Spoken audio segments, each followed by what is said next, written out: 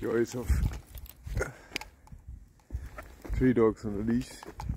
Thing is, what they want to do is they want to wave out, then entrap you. That's something that you should not do. So overstep the line as I did, and then keep them walking in front of you, and keep one on the leash on a shorter leash than the other, especially the one that is wanting to weave and also go in front of the adults and then walk back again.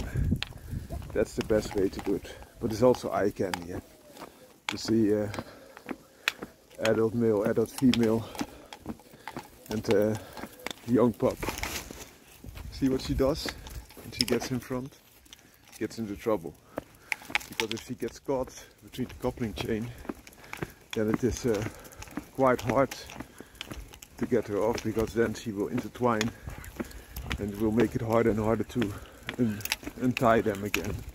But this way she still wants to go to the front of course because all these dogs are so dominant they want to stay on top, be the first and therefore they pull quite hard which can also be a benefit because they uh, get excellent musculature for that from that and good neck muscles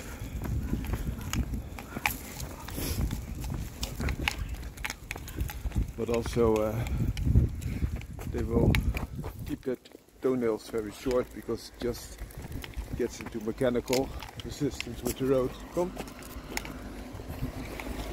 See what you have to do even if she's in front. Then you have to keep her really uh, close so that she cannot intertwine. He wants to play fight with the female.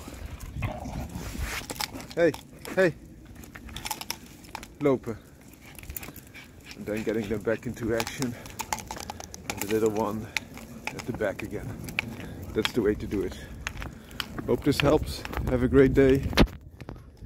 Bye bye.